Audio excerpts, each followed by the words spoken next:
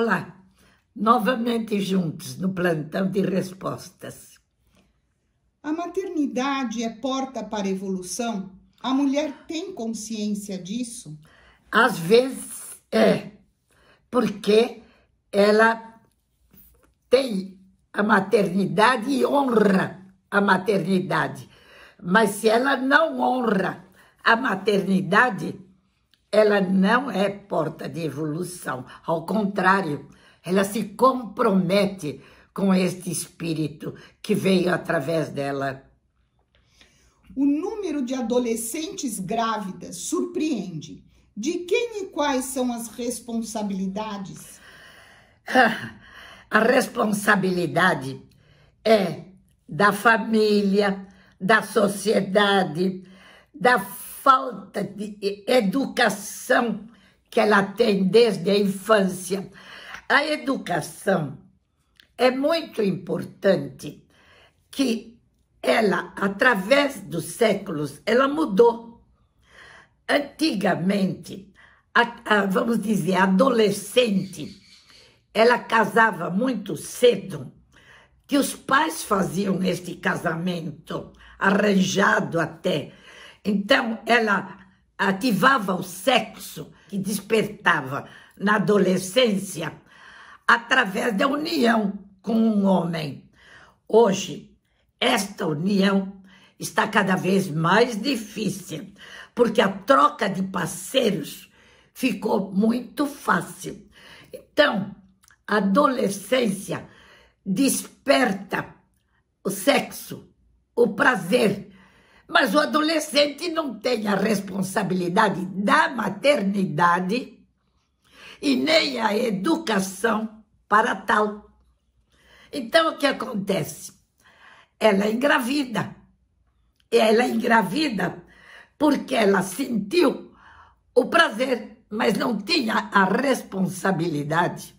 Então, mudou os aspectos e ela se torna uma vítima da sociedade, desde cedo, muito criança, com uma carga que ela não podia carregar.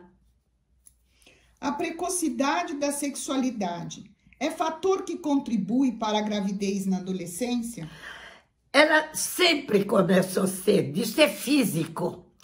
Começa a necessidade, é, é, é os hormônios que vão se desenvolvendo.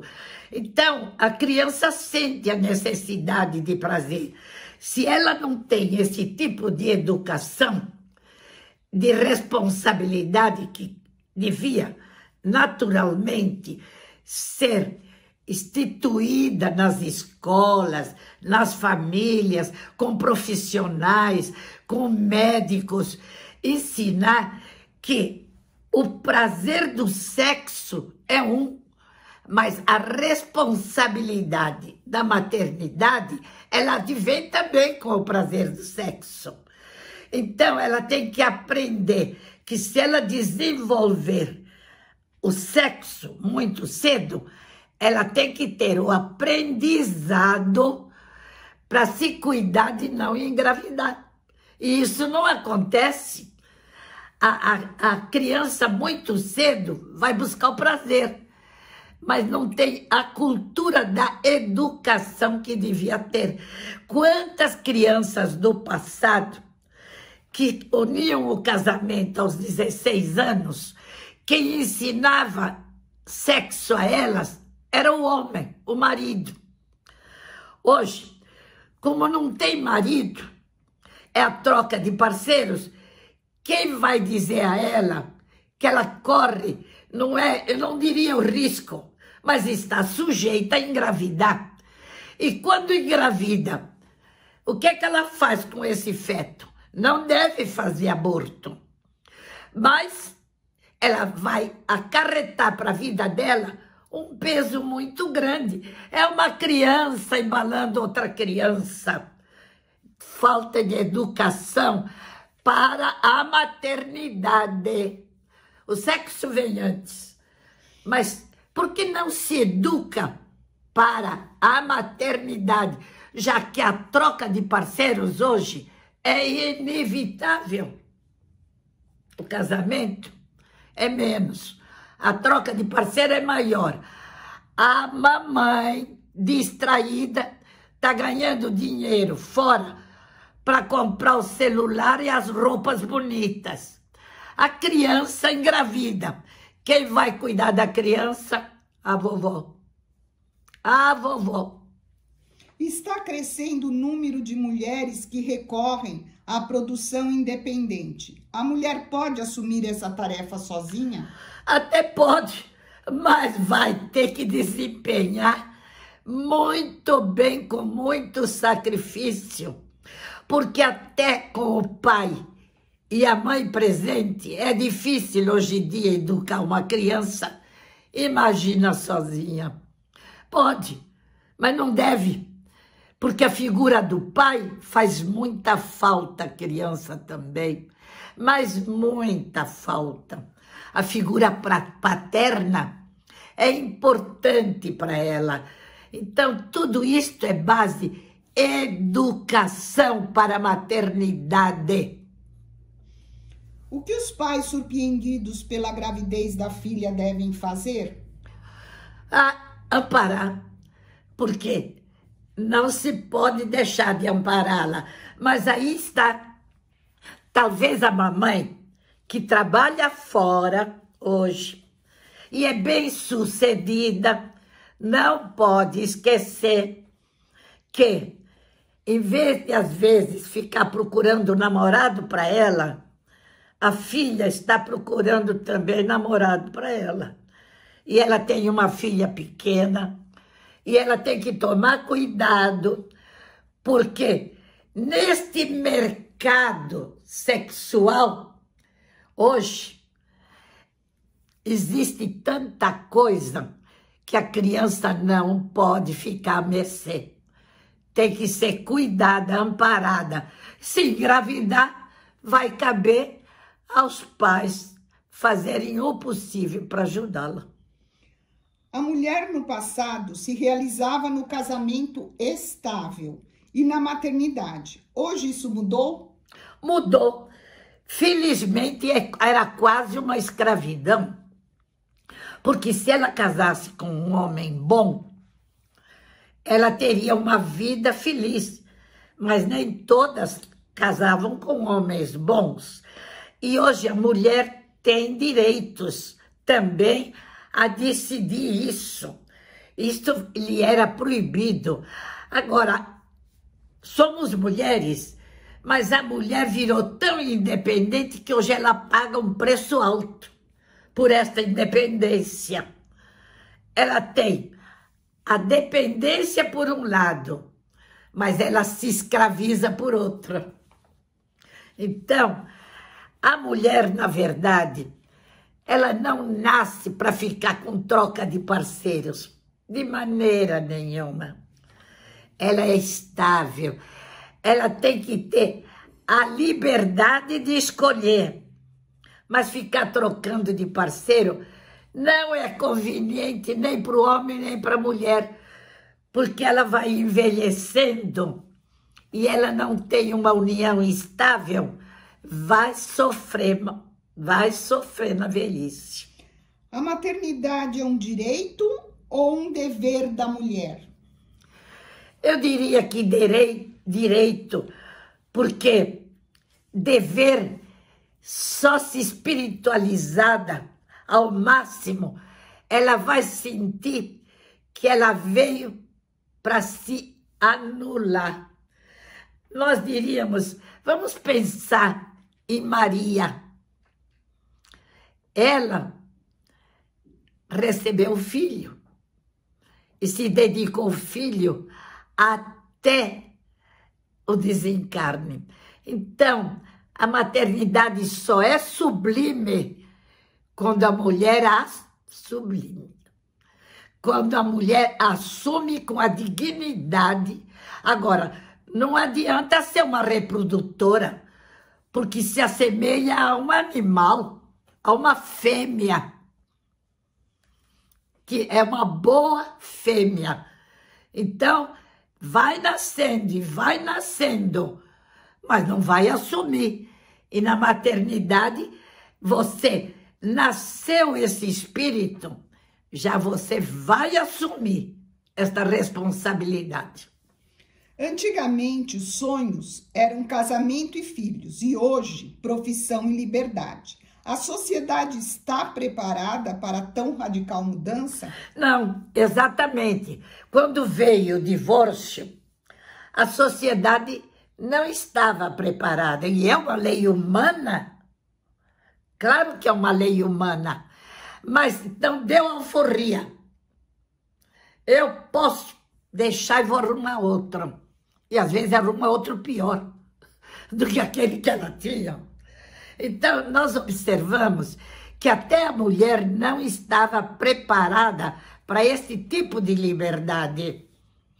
Antes, muito aprisionada, depois a, solta. Por isso é que nós vemos hoje muita menina que devia estar tá carregando boneca. Ela está mostrando o corpo e provocando com seu corpo aquilo que ela nem sabe o que será. Ela não conhece nada de sexo, de responsabilidade, de maternidade, de gravidez.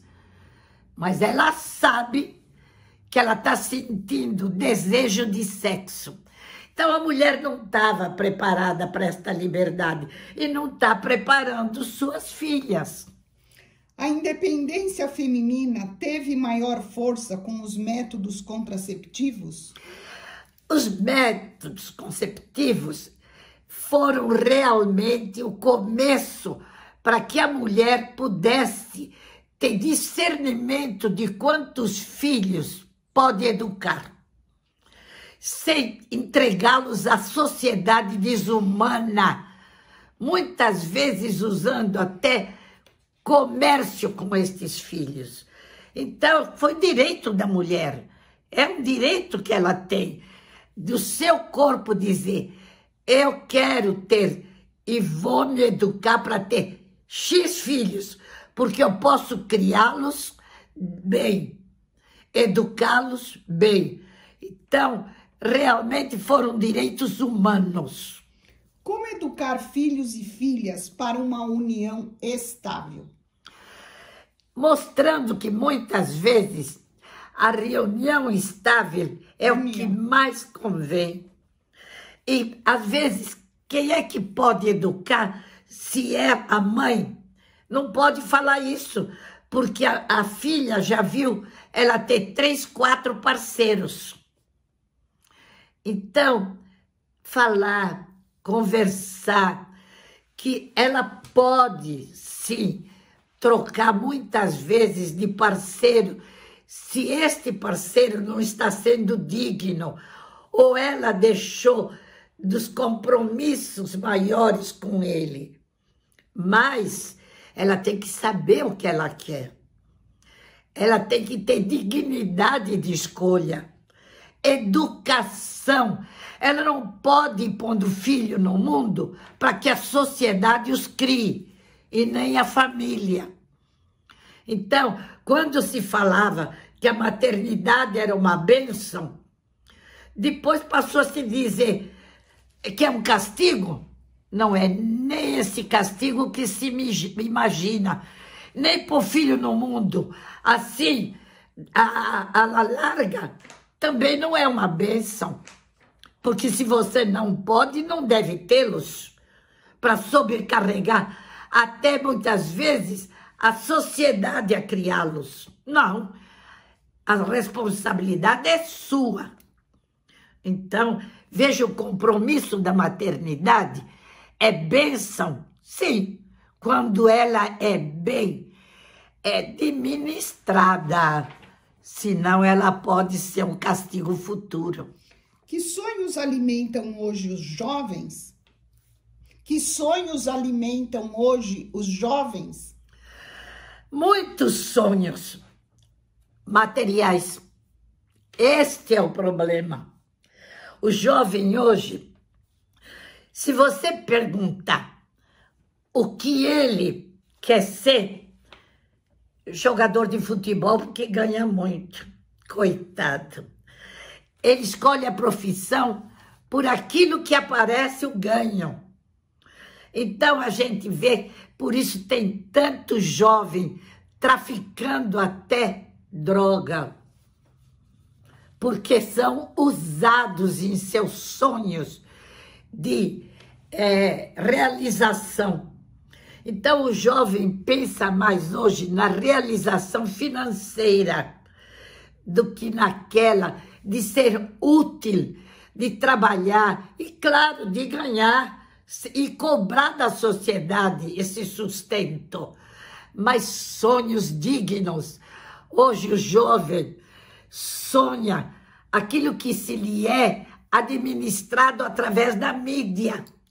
Muitas vezes ele é usado para outro que sonha mais alto.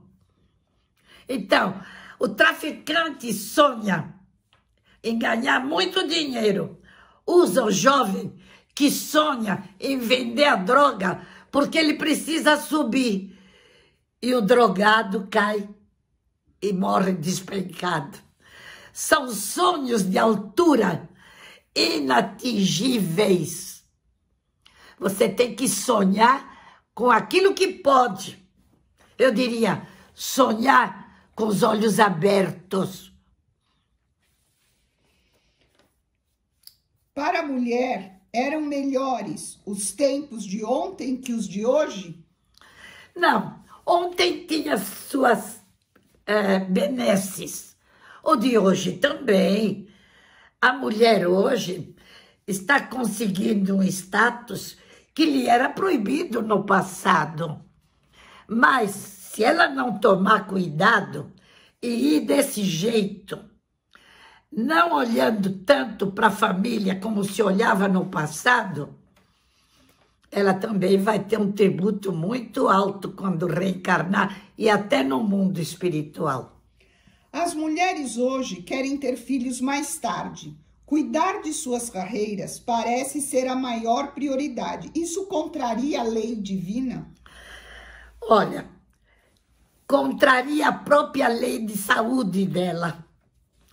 Porque quando ela deixa a maternidade para bem mais tarde, o que acontece que muitas vezes ela tem que ir para a assimilação, ela tem que fazer recursos que não precisaria se ela fosse jovem.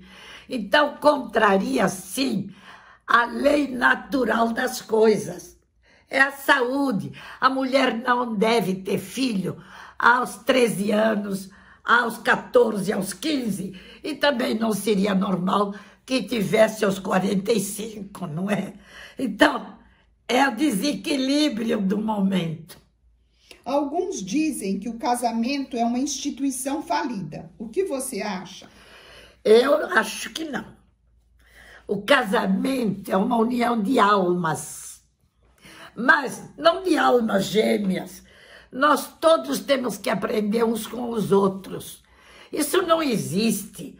Existe almas gemendo juntos. Então, as almas que gemem juntos faz com que o casamento seja uma união maravilhosa, porque terão filhos bem encaminhados, viverão, viverão na velhice mais tranquila, então, não é absolutamente uma instituição falida. Quem está falindo é o ser humano quando se une com outros sonhos e não a união de crescerem juntos. Qual a mensagem que podemos deixar para as mães que estão comemorando o seu dia? Ser mãe é maravilhoso, mas não é nem uma bênção, nem um castigo. É uma coisa natural do progresso evolutivo espiritual. Se você quer crescer espiritualmente falando, e a maternidade chegou até você, saiba honrá-la. Honrá-la com respeito, cuidando desta criança que você gerou. Até a próxima vez, se Deus quiser.